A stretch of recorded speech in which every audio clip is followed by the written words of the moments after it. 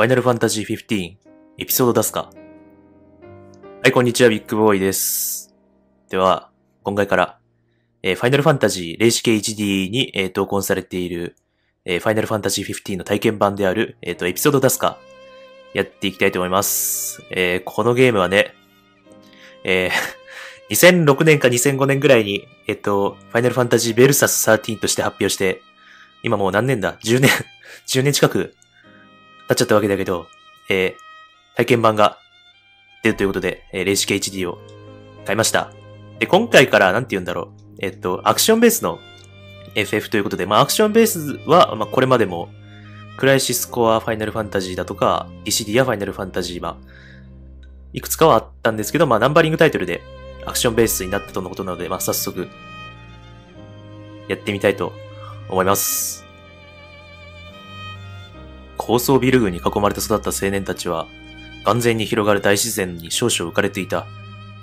舗装された道を外れて悪路を突き進み、異音が鳴り出した時にはすでに手遅れ、やがて車はピクリとも動かなくなった。巨神タイタンが眠ると歌われている灼熱の地、カーテスの大皿へと、到底は長い。一行はまず、故障した愛車を迎えに行かなければならなかった。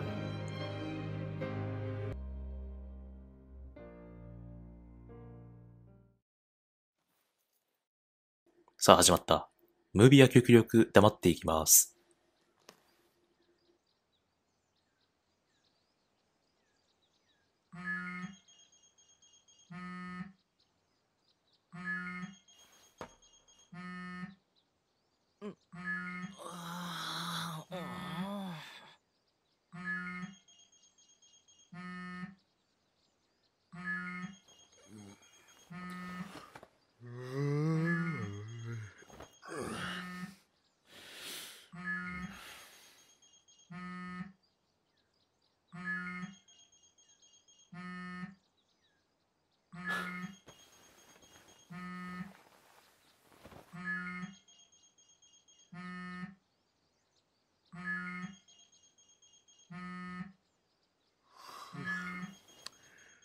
大事な車を壊しちまったやつ誰だ？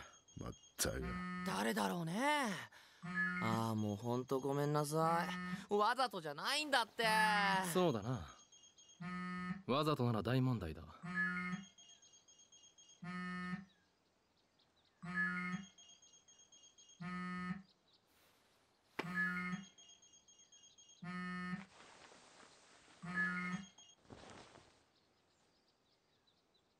無理か。はい起きろ。ノクト揺れてる。叩きすぎ。俺はタイタンかよ。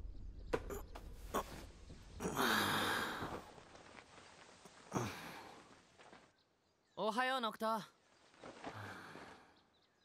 目あげろ。起きたな。そうでもない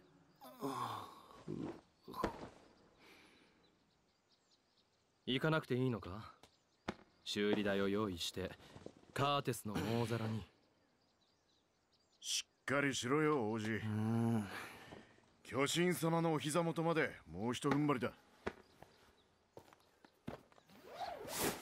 俺も天気はどうかな？うーわ超晴れてる。どうやら絶好の徒歩日和みたいだな。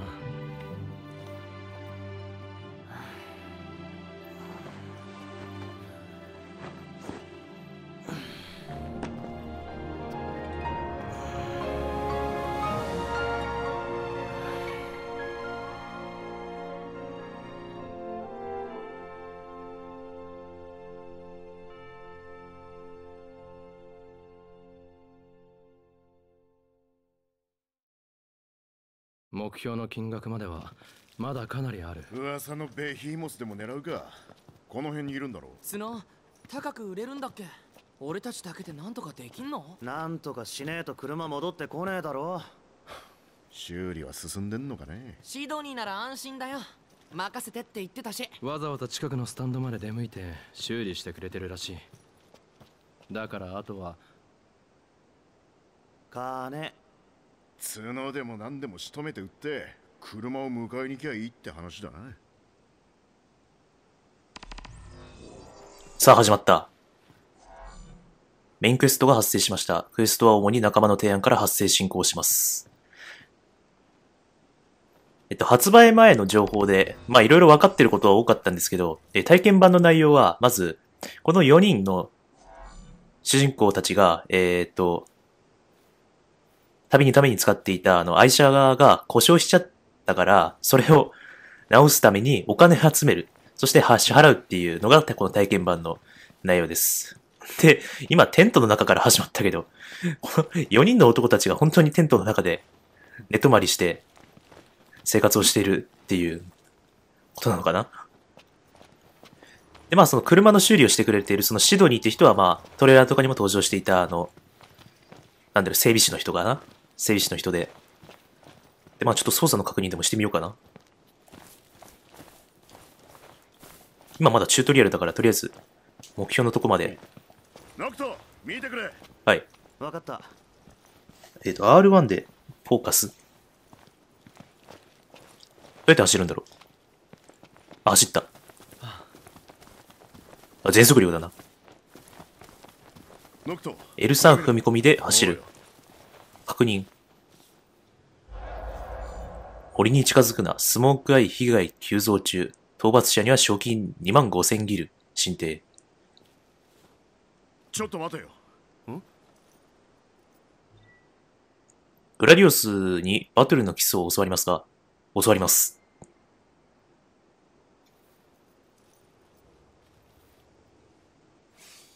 お、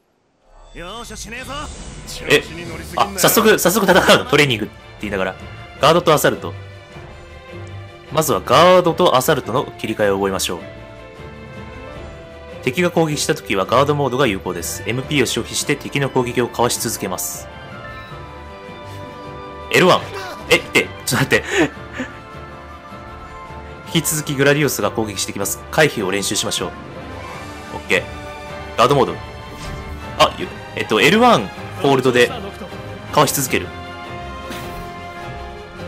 あ、で、MP 減ってるね。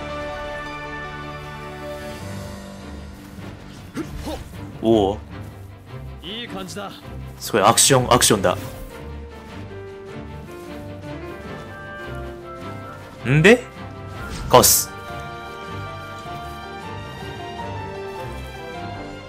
ノクティス、うん、主人公ノクティス。ノクティスは様々な武器を召喚して戦います。仲間の武器もノクティスが召喚しています。武器召喚はアサルトで行います。アサルトモード中は近くの敵に連続で攻撃します。グラディオスに攻撃してみましょう。じゃあ、ちょ、この兄兄貴に攻撃を仕掛ける。おお、すごい。状況を見極めてガードとアサルトを切り替えると戦いを有利に進められます。練習してみましょう。OK。とりあえず基本的に四角で攻撃で、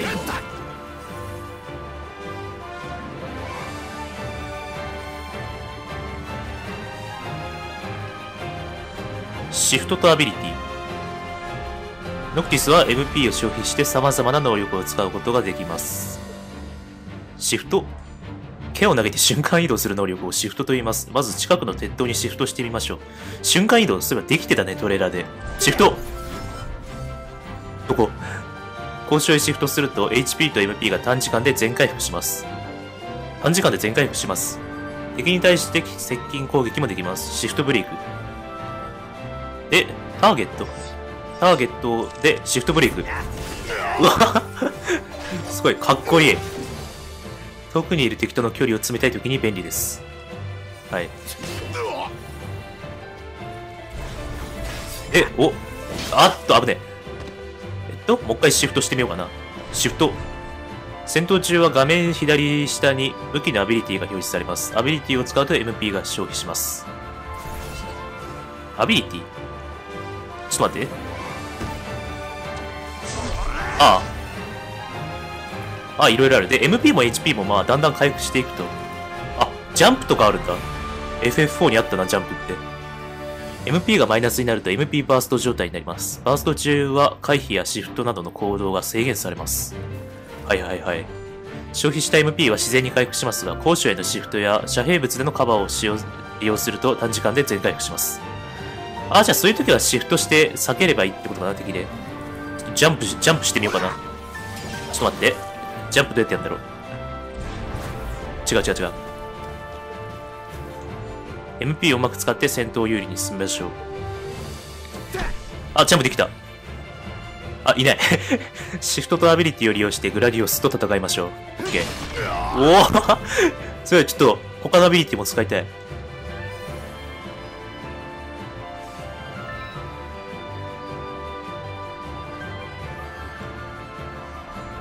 あり？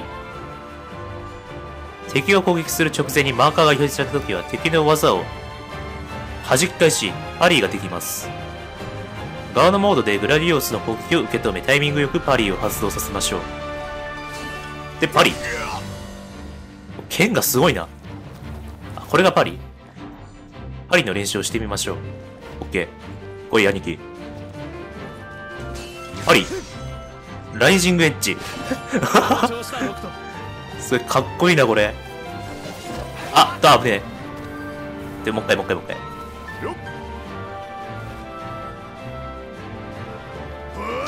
あ、難しい。ちょっと待って。されパリ。で、ライジングエッジ。もう一回やってみよう。ほら、強い。武器装備。片手剣は MP 回復に優れ、体験威力が高いなど、アスタルトで召喚する武器には固有の特徴があります。また、先制攻撃や連続攻撃など、武器を使う状況によって戦い方は大きく変わります。武器装備はバトルメニューで行います。ラッシュにスバイハンダーを装備してみましょう。バトルメニュー。おう。あこれが UI。で、武器装備で、ノクティス、レベル4。ファントムソードね。えっ、と、何装備するっつってたっけ？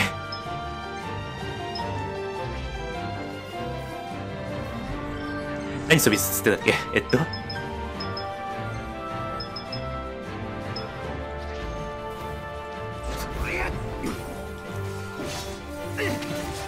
いや。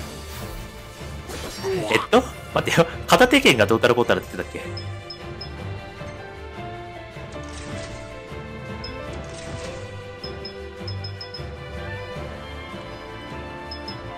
はい、説明をちゃんと聞いていなかった。あ、で、アイテムとかもある。とりあえず、兄、兄貴やっちゃおうかな。ジャンプしちゃった。え、他には何が、ドレイン剣って、これ体力取れるんじゃないか？待ってよ、ちょっと、ワープして、痛い。これでトレーニングは終了です。お疲れ様でした。あ、終了？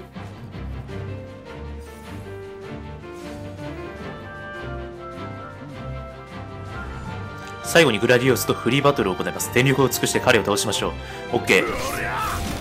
待てよ、ちょっとね、まだ操作とかうまく慣れてない。ほっえ、待ってよ。えっと、テンペスト、ドレイン剣、ヘビースラスト。ヘビースラストってなんだろうで、あーライジングエッジができなかった。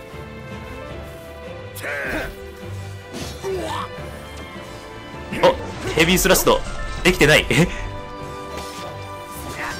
近くで通常攻撃して攻撃中にガードしててもガードができないんだな。アップね待ってヘビースラストあれ？できうまくできてない。でドレンケで体力取ろう。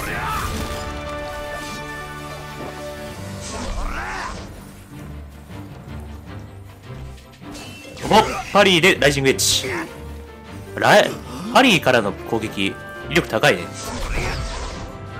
HP がゼロになった仲間はピンチ状態になりますピンチ状態の仲間に近づくと助けることができます 助ける借りは返すあ、オッケー。トレーニング終了。フリーバトルはキャンプ地点からいつでも行います。それではベヒーモスの情報収集を再開しましょう。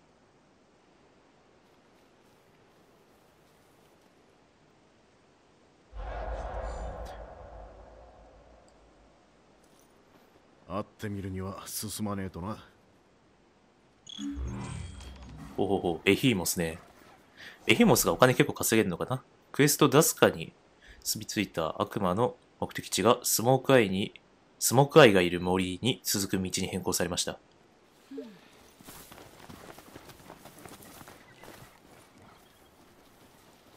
ほほ、このワールドは自由に行けるのかな？マップとかって、あ、剣出しちゃった。あ、通常移動でも普通に攻撃とかを繰り出せる。で、バツでジャンプ。で、L スティック踏み込みでダッシュ。歯ごたえありすぎなのばっかなんだけどすごいな、これ。ちょ確かにな気抜くなよっとアクションはちょっとな、くても抜けないよあんまり、アクションゲームはあんまり得意じゃないので、ちょっとこいつ、やってみようかな。あ、戦闘になった。あ、痛い。油断するとやられるぞあ、で、味方も一緒に戦ってくれてる。えあいつやってみよう。シフトブレイクも活用しつつ、あ、なんか体力やばい。HP がゼロになるとピンチ状態になります。え、攻撃受けると最大 HP が減る。それはいけないわ。ポーション使おう。あ、で、体力がゼロになっても、あの、15ではポーションが使えると。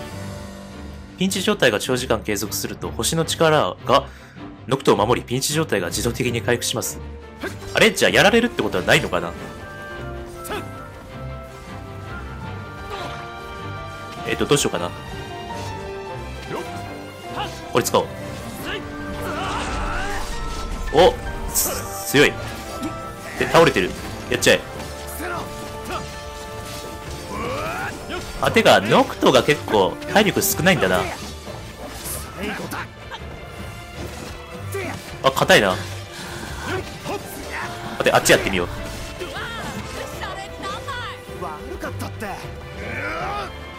テンペスト。回転切りか。ああれ？誰かやる、イグニス。イグニスどこ？イグニス大丈夫？助けた。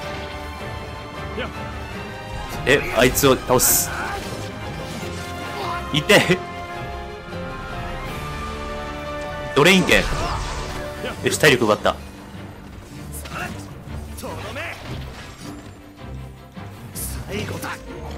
オッケー、やった。ガルラの肉。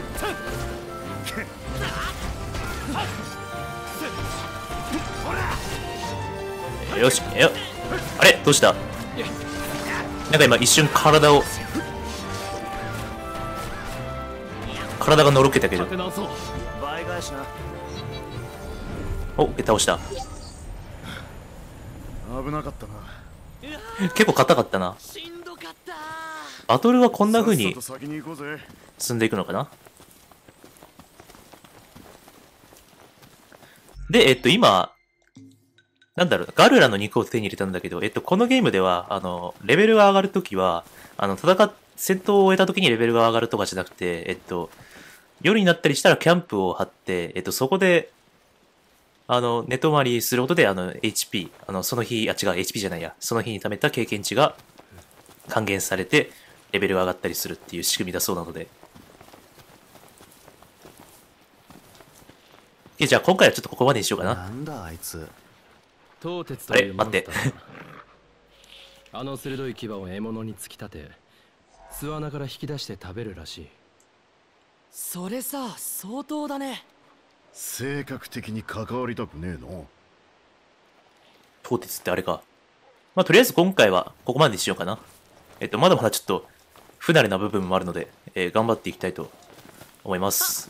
じゃあ、ファイナルファンタジー15エピソード出すか？パート1はここまででご視聴ありがとうございました。